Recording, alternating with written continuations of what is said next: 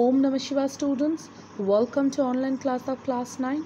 Now students, as in our previous class we have completed the chapter The Sound of Music part 1. Today in this video we will discuss the question answers of the chapter. So let's begin our discussion. Question number 1. How old was Evelyn when she went to the Royal Academy of Music? Number 2. When was her deafness first noticed? When was it confirmed? Now student these are very simple questions and i would tell all of you to write the answers on your own in your english literature classwork copy.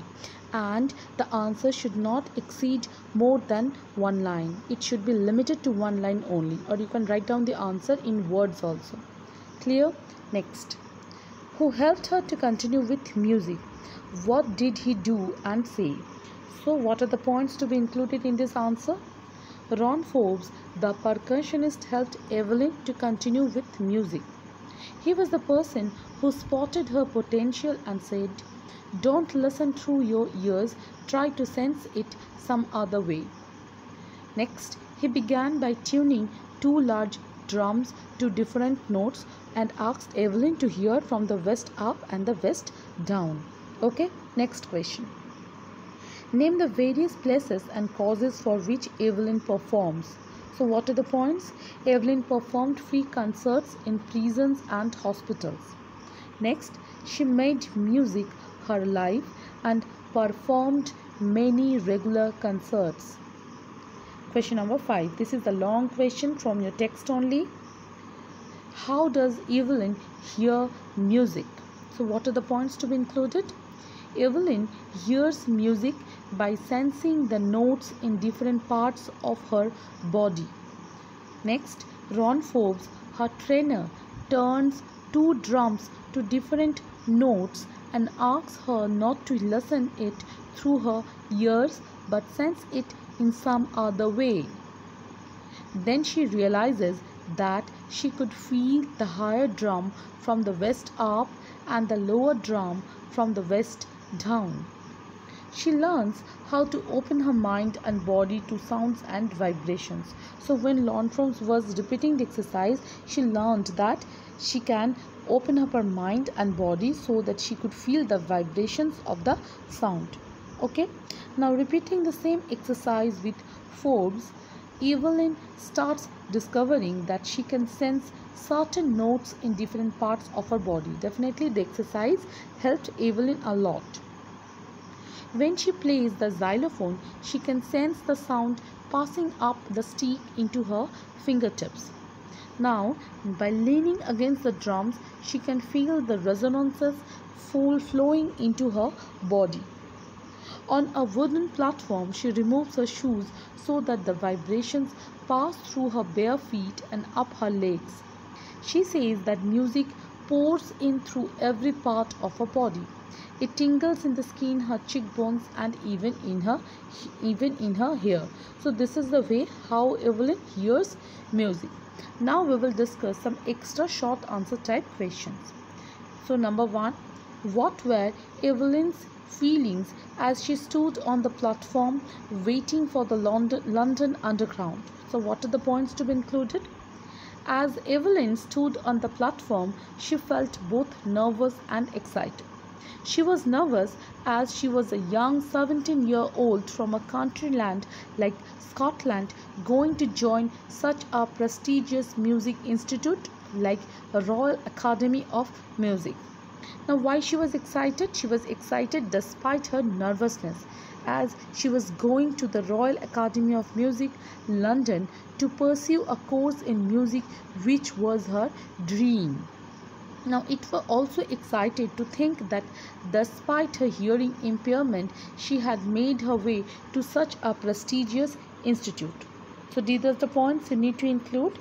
Question number two How did Evelyn's mother realize that she had some problem in hearing?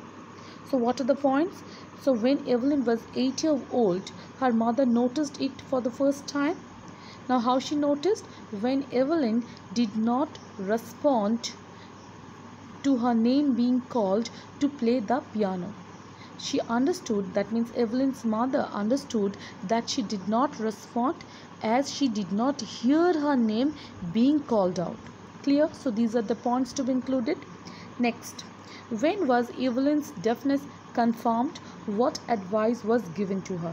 So her deafness was confirmed when she was 11 years old. Okay how? Now by the time she was 11 years old her marks had started to deteriorate. So her headmistress advised her parents to take her to a specialist. Now when she was taken to the specialist the specialist told her parents that her hearing that her hearing ability has been completely choked off as because of a nerve damage. He also advised evelyn's parents to help her with uh, with a hearing aid and also to send her to the school of a to the school of deaf children.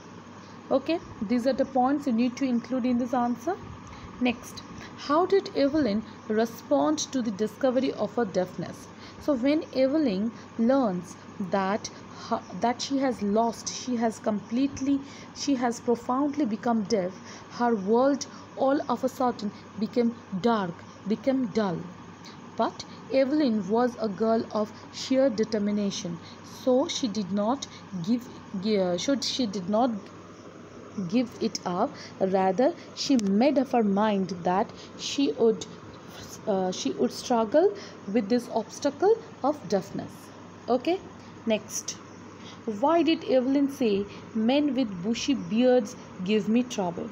Now evelyn comments this one that it is not only about reading the movement of the lips and by watching face and eyes the facial expression of the speaker also matters. Now when when a man having bushy beard speaks to her it, it becomes difficult for her to read the movement of the lips with bushy beards in order to grasp what they were saying. Clear? So she once jokingly remarked that men with bushy beards gave her trouble. Okay? Next. How does evelyn regard her own success now students evelyn is a very modest girl. She is very down to earth. Okay so she does not consider her achievements to be something of to be something that to be celebrated.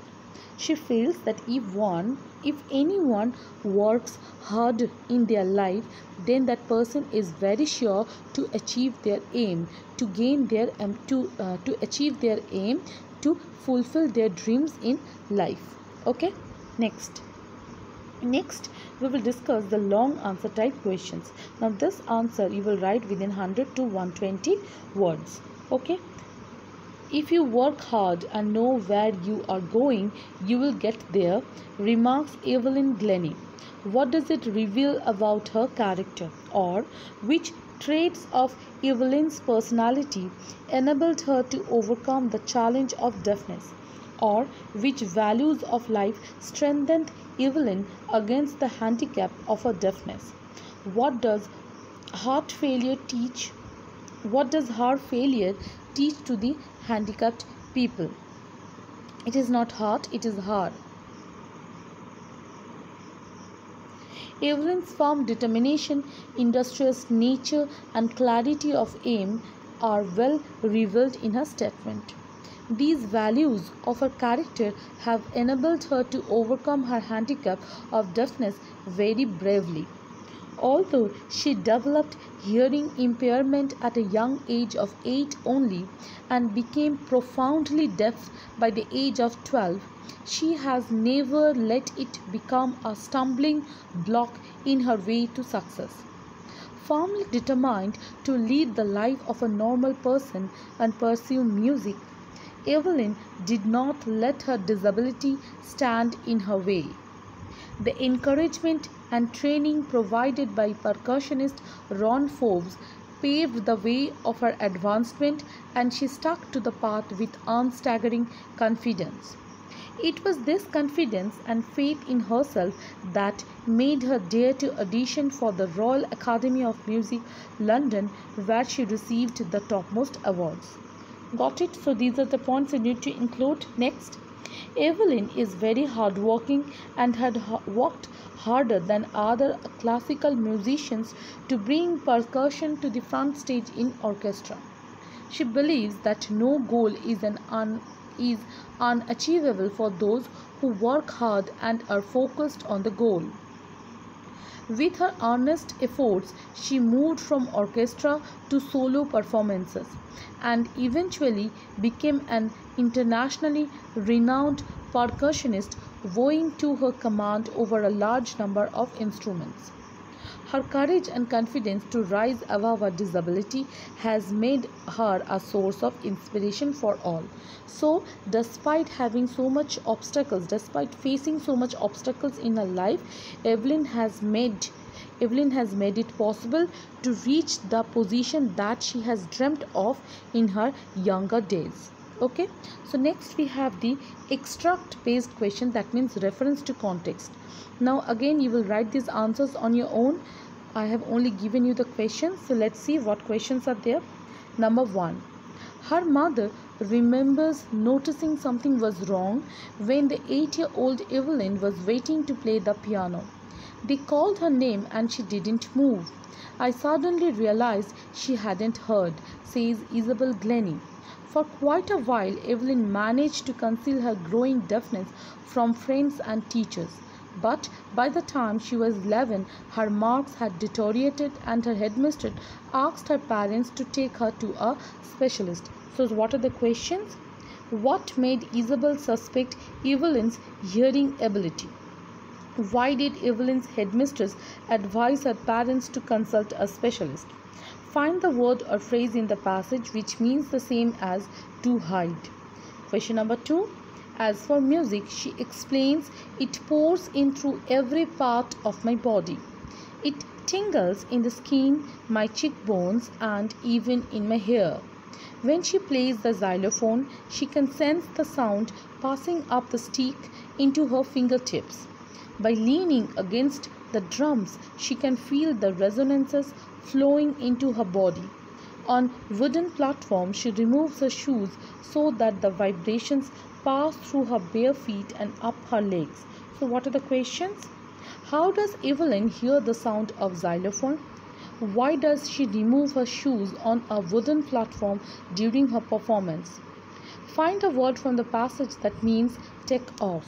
So, students, I have discussed all the points. Now you will also include your own point and make a and make a compiled answer of your own and complete the work in your English literature classwork copy.